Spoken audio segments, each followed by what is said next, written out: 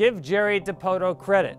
The new general manager of the Seattle Mariners essentially turned over his 40 man roster by at least 50% within two months of taking the job, and the plan has worked. His idea was to improve the offense, especially when it comes to getting on base and putting the ball in play. And that's what Seattle has done. It's a much improved offensive team. A bounce back year from Robinson Cano certainly has helped. Seth Smith doing damage on a platoon basis in the outfield, and Nelson Cruz providing the right-handed puck.